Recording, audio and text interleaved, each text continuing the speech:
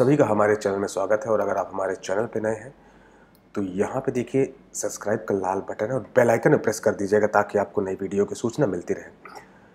कुछ सब्सक्राइबर दोस्त मुझसे पूछते रहते हैं कि, सर, थोड़ी छोटी प्राइस छोटी प्राइस का स्टॉक बताया करिए, जो सौ रुपये के नीचे हो। तो मैंने कई स्टॉक्स बनाए, जैसे बैंक में अगर आप IDFC bank IDFC first bank देख सकते हैं आप। आर का बताया था, एक पी गवर्नमेंट से रिलेटेड कंपनी है, रेल विकास निगम लिमिटेड। और उस समय, जिस समय एक हफ़्ते पहले बताया था, बाईस रुपये का था। आज तो सत्ताईस, अट्ठाईस भी क्रॉस कर चुका और थोड़ा सा आज डाउन साइड है। लेकिन काफ़ी अच्छा रिटर्न एक हफ़्ते में दे दिया है। जिन्होंने लिया होगा, वो तो माला माल हो गए होंगे। एनी एक और भी मैं कंपनी के बारे में बताने वाला हूँ। पहले भी मैं उसके बारे में वीडियो बना चुका हूँ। एक्सपोर्ट की कंपनी है। और अभी उसका स्टॉक प्राइस छोटा है। तो आइए जानते हैं वो क्या करती है और उसके रिटर्न्स में मैं दिखाऊँगा कि क्यों आपको पाँच साल के लिए उसको लेके आप समझिए, एक झोला लीजिए। आप जहाँ भी रखते हो, आप कोठी लीजिए, जहाँ अनाज भरते हो या कमरे, कमरा हो, शेयर उसके खरीद खरीद के, खरीद खरीद के आप भर लीजिए, भर के उसको लॉक कर दीजिए, उसको बेचिएगा मत पाँच सालों तक, छेड़िएगा मत। जितना लंबा आप रखेंगे, उतना मोटा माल कमाएँगे आप, मेरी गारंटी। क्योंकि इसने, इस कंपनी ने दस सालों में, या जब भी जिसने पैसे लगाए हैं, उसको निराश नहीं किया है, हमेशा उसको रिटर्न बना के दिया है।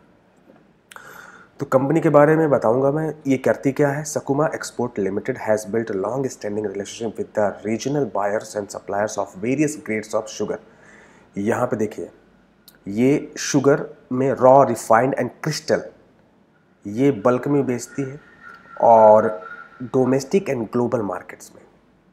इस तरीके से इसके ये प्रोडक्ट्स हैं ऑयल एंड ऑयल सीड्स अलग अलग कंट्रीज़ में एक्सपोर्ट करती है। और इसके प्रोडक्ट्स देखना बहुत ज़रूरी है आपको। और ग्रेन्स ग्रेन्स में जैसे कि गेहूँ, चावल, है ना, ये सब सारी चीज़ें, दाल हो गए, दाल के बीन्स हो गए, और इनका जो मार्केट है include Canada Ukraine African continent Australia Indonesia Myanmar और Colombo Pakistan Bangladesh of course Indian customers too और मसाले, मसालों में जितने प्रकार हैं इनको ब्लैक पेपर हो, चाहे मस्टर्ड ऑयल हो अजवाइन हो, और सारे जितने मसाले में चीज़ें प्रयुक्त होती हैं। एनिमल फीड्स, जो जानवरों को खिलाए जाते हैं, उनकी फीड्स ये हैं, और मिडिल ईस्ट यहाँ पे इनका ज़्यादा मार्केट है इस प्रोडक्ट का, कॉटन, और भी कई बहुत सारे प्रोडक्ट्स हैं। अगर आप इनके चाहें तो वेबसाइट्स पर भी विज़िट कर सकते हैं, सकुमा एक्सपोर्ट लिमिटेड। अब चलिए हम पहले इसके कुछ बेसिक चीज़ें देख लेते हैं।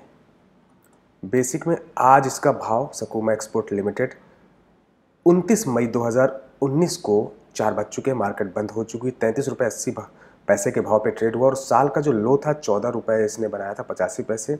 हाई था forty two point four five तो हाई से अभी काफ़ी ऑफ़ कोर्स नीचे है और यहाँ पे देखिए पी रेशियो है 14.88 अर्निंग पर शेयर है, दो रुपये तीस पैसे। प्राइस टू बुक है two point nine eight.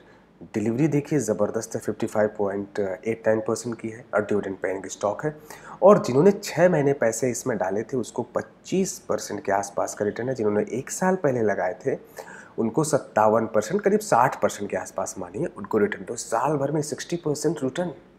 ऐसे मार्केट में जबकि साल भर ये मार्केट तो बुलिश था ही नहीं, बेरिश मार्केट था। बुलिश मार्केट में तो दुनिया कमाती है। तो उस तरीके से मैं अभी आपको एक्चुअल रिटर्न दस सालों के भी दिखाऊँगा।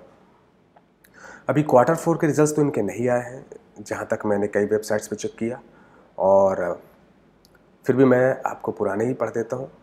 सितंबर अठारह से दिसंबर अठारह के क्वार्टर में इनको जो है फाइव पॉइंट यानी पाँच दशमलव आठ एक परसेंट की नेट सेल्स में इजाफा है।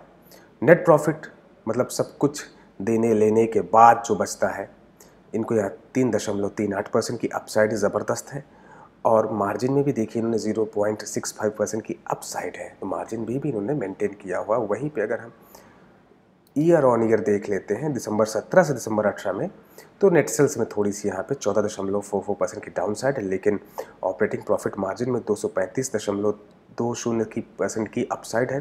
वहीं नेट प्रॉफिट में भी 146 परसेंट के आसपास का अपसाइड है मार्जिन में भी यहाँ ढाई परसेंट के आसपास की अपसाइड है। अब हमें क्यू फोर का इंतज़ार है, मार्च 19 का फाइनेंशियल ईयर तो वो भी रिजल्ट्स आएँगे तो भी मैं एक नया वीडियो बनाऊँगा, लेकिन मैं एक चीज़ और कहना चाहूँगा कि रिटर्न्स में पहले आपको दिखा दूँ कि 10 सालों में इन्होंने, अगर आपने एक लाख रुपए लगाए तो उनतीस लाख रुपए तेरह हज़ार हो गए, उनतीस लाख तेरह हज़ार। तो इस तरीके से 10 10 सालों में इन्होंने अट्ठाईस सौ तेरह परसेंट के आसपास का रिटर्न दिया पाँच सालों में पंद्रह सौ साठ परसेंट के आसपास का रिटर्न दिया है। ज़बरदस्त रिटर्न है। चार सालों में ग्यारह सौ पैंतीस परसेंट के आसपास का रिटर्न है और तीन सालों में तीन सौ अठारह परसेंट के ज़बरदस्त रिटर्न है। दो सालों में साढ़े चार सौ, यानी चार सौ सत्ताईस परसेंट के आसपास का रिटर्न है। एक साल में सिक्सटी परसेंट जो मैं बताया था ईयर टिल डेट में two point two seven percent की रिटर्न है, लेकिन छः महीने पर जिन्होंने लगाया था, पच्चीस परसेंट के आसपास रिटर्न एक महीने पहले भी जिन्होंने लगाया था, दो परसेंट के आसपास रिटर्न वन मंथ में जिन्होंने लगाया था, आठ परसेंट के आसपास रिटर्न है। एक हफ़्ते पहले जिन्होंने लगाया था वन वीक पे आठ परसेंट के आसपास का रिटर्न और आज इसमें सिर्फ़ करीब करीब दो दशमलव आठ सात परसेंट के डाउन साइड दिखा रहा है, लेकिन ठीक है। तो इस तरीके से दोस्तों, एक बेहतरीन कंपनी है एक्सपोर्ट की प्रोमोटर्स के पास। 57.97 परसेंट की होल्डिंग है, लेकिन यहाँ पे चौदह दशमलव ज़ीरो सिक्स परसेंट की गिरवी रखी हुई है।